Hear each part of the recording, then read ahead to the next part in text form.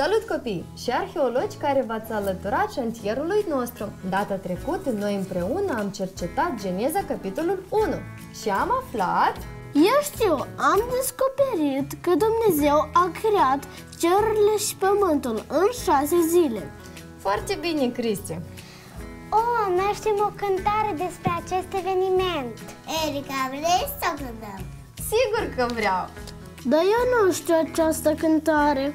Nu te întrista, noi te vom învăța. Abia aștept să ascult cântarea voastră. Și voi, copii, fiți atenți la cântare și la gesturi.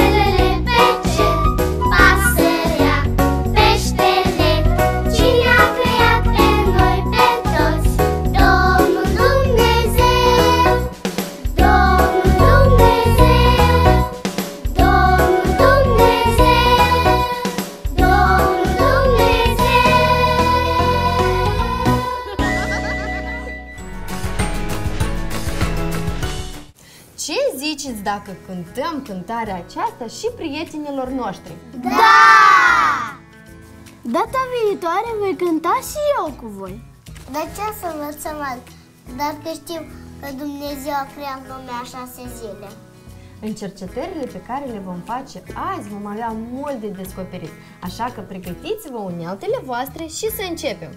Să descoperim cu voi capitolul 2 din Genesa. Vom face împreună harta lucrurilor importante din șantierul numărul 2.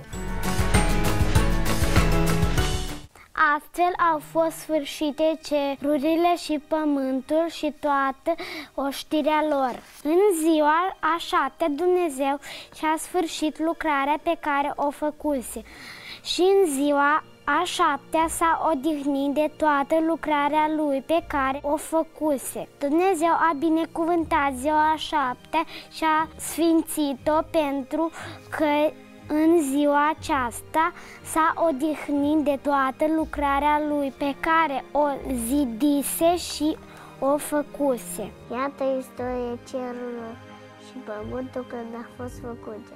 În ziua când a făcut Domnul Dumnezeu în pământ și ceruri, nu era încă pe pământ niciun copăcel de câmp și nicio iarbă de pe câmp nu încolțea încă, fiindcă Domnul Dumnezeu nu dăduse încă ploaia pe pământ și nu era niciun om ca să lucreze pământul, ci un abur se ridica de pe pământ și uda toată fața pământului. Domnul Dumnezeu a făcut pe om din țărâna pământului, i-a suflat în nări suflare de viață și omul s-a făcut astfel un suflet viu. Apoi Domnul Dumnezeu a sădit o grădină în Eden spre răsărit și a pus acolo pe omul pe care îl întocmise. Domnul Dumnezeu a făcut s- să răsară din pământ tot felul de poni plăcuți la vedere și buni la mâncare și pomul vieții în mijlocul grădinii și pomul cunoștinței binelui și răului. Un rău ieșea din Eden și o da grădina și de acolo se împărțea și se făcea patru brațe. Numele celui din tăi este Pison. El încojoară toată țara Havila, unde se găsește aur. Aurul din țara aceasta este bun. Acolo se găsește și bedilion și piatră de onix. Numele râului al doilea este Gihon.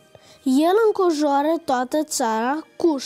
Numele celui de-al treilea este Hidechel. El curge la răsăritul Asiriei. Al patrulea rău este Eufratul. Domnul Dumnezeu l-a luat pe om ce l-a săzat în grădina Edenului, ca să lucreze și să o păgească. Domnul Dumnezeu a dat omului porunca aceasta.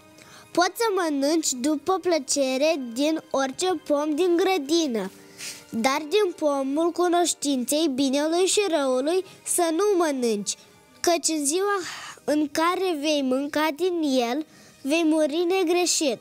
Domnul Dumnezeu a făcut din pământ toate fiarele câmpului și toate păstrele cerului și le-a adus la om ca să vadă cum are să le numească. Și orice nume pe care îl dădea omul fiecărei viețuitoare, acela era numele. Și omul a pus numele tuturor vitelor, păsărilor cerului și tuturor fiarelor câmpului. Dar pentru om nu s-a găsit niciun ajutor care să-i se potrivească.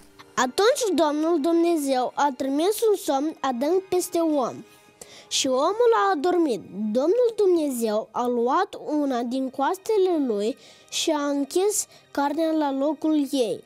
Din coasta pe care o luase din om, Domnul Dumnezeu a făcut o femeie și a adus-o la om. Și omul a zis, iată în sfârșit aceea care este os din oasele mele și carne din carnea mea. Ea se va numi femeie, pentru că a fost luată din om.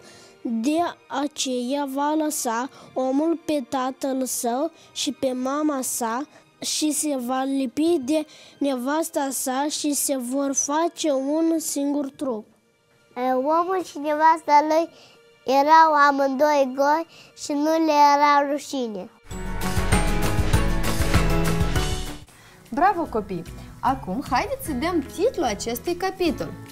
Ce reguli respectă un arheolog când dă titlul unui șantier? Șantierul cercetărilor noastre este Geneza, capitolul 2. Titlul trebuie să fie scurt.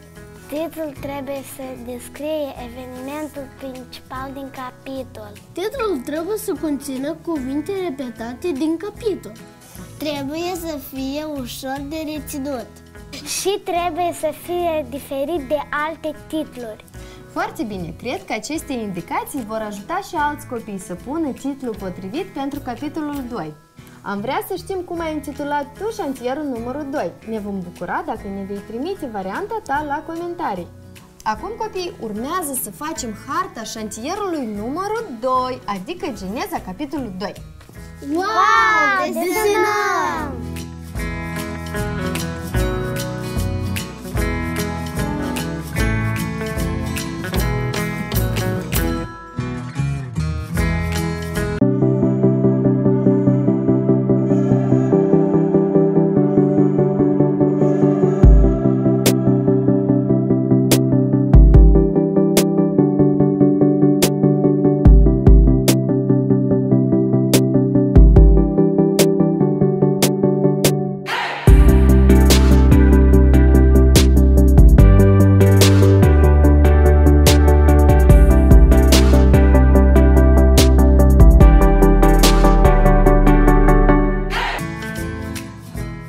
Arheologii noștri s-au descurcat de minune, dar am vrea să vedem desenele și altor arheologi care s-au alăturat expediției noastre.